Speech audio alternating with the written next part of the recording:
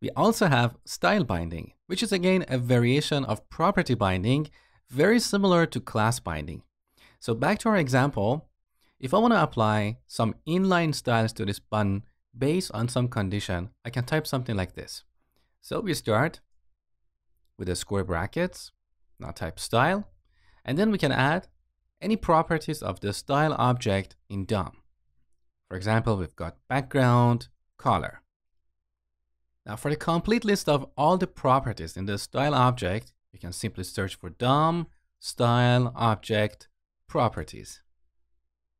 Now if you scroll down here, the first link, HTML DOM style object on W3 schools, on this page, in this table, you can see all the properties available in the style object.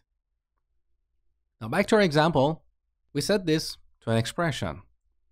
So if is active is true, we want the background color to be blue.